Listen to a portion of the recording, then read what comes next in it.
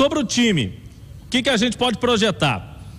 Eu não acredito em tantas mudanças assim, não, viu, Léo? Eu acredito que o Turco vai seguir o trabalho dele, 6 e 45 aí, seguindo o trabalho dele, ele já tem uma espinha dorsal, com Everson no gol, Mariano na direita, Arana na esquerda. Ontem até eu falava sobre o Igor Rabelo, mas está correndo por fora, viu? A zaga deve ser mesmo Natan Silva e o Alonso. No meio-campo, aí sim tem uma interrogação boa, hein? Alan tá garantido, mas o Jair pode voltar. Jair ou Otávio? O Jair era o titular. O Otávio vinha jogando bem, mas o Jair voltou, né?